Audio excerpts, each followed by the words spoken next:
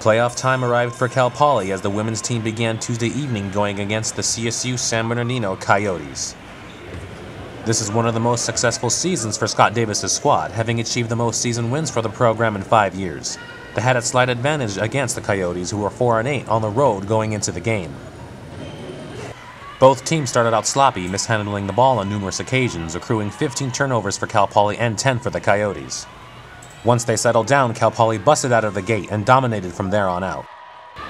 The Broncos started with a 5 0 run, with clutch baskets from center Megan Ford, who had 6 total points and was 4 for 4 from the charity stripe, while Stephisha Walton owned the game with 14 total points and 10 rebounds.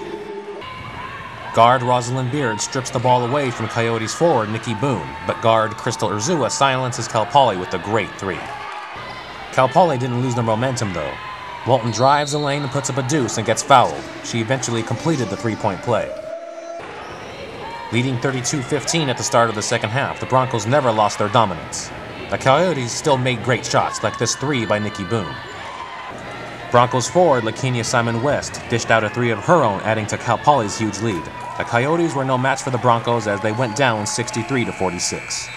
Cal Poly will head to Humboldt, where they next face third-seeded Chico State Friday at 12:30 p.m. This is Aaron Castrejón for the Poly Post.